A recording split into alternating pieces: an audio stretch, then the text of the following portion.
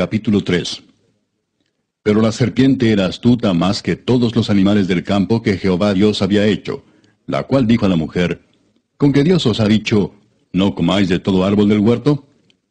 Y la mujer respondió a la serpiente, Del fruto de los árboles del huerto podemos comer, pero del fruto del árbol que está en medio del huerto, dijo Dios, no comeréis de él, ni le tocaréis, para que no muráis. Entonces la serpiente dijo a la mujer, No moriréis, sino que sabe Dios que el día que comáis de él, serán abiertos vuestros ojos y seréis como Dios, sabiendo el bien y el mal. Y vio la mujer que el árbol era bueno para comer, y que era agradable a los ojos, y árbol codiciable para alcanzar la sabiduría. Y tomó de su fruto y comió. Y dio también a su marido, el cual comió así como ella. Entonces fueron abiertos los ojos de ambos, y conocieron que estaban desnudos. Entonces cosieron hojas de higuera y se hicieron delantales. Y oyeron la voz de Jehová Dios que se paseaba en el huerto al aire del día, y el hombre y su mujer se escondieron de la presencia de Jehová Dios entre los árboles del huerto. Mas Jehová Dios llamó al hombre y le dijo, ¿Dónde estás tú? Y él respondió, Oí tu voz en el huerto y tuve miedo, porque estaba desnudo, y me escondí. Y Dios le dijo, ¿quién te enseñó que estabas desnudo? ¿Has comido del árbol de que yo te mandé no comieses? Y el hombre respondió, La mujer que me diste por compañera me dio del árbol y yo comí. Entonces Jehová Dios dijo a la mujer, ¿qué es lo que has hecho? Y dijo la mujer, La serpiente me engañó y comí.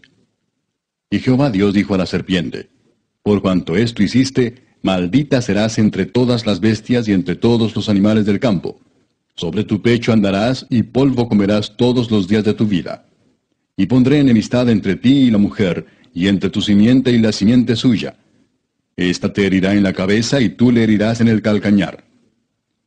A la mujer dijo, Multiplicaré en gran manera los dolores en tus preñeces. Con dolor darás a luz los hijos, y tu deseo será para tu marido, y él se enseñoreará de ti.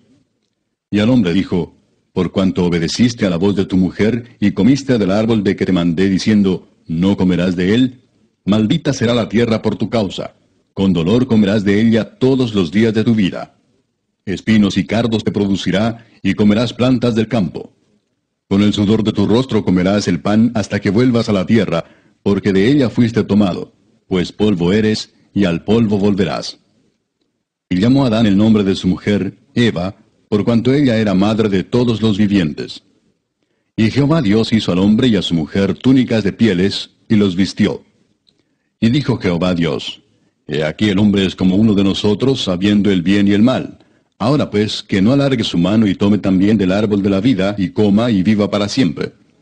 Y lo sacó Jehová del huerto del Edén, para que labrase la tierra de que fue tomado. Echó pues fuera al hombre, y puso al oriente del huerto de Edén querubines y una espada encendida que se revolvía por todos lados para guardar el camino del árbol de la vida.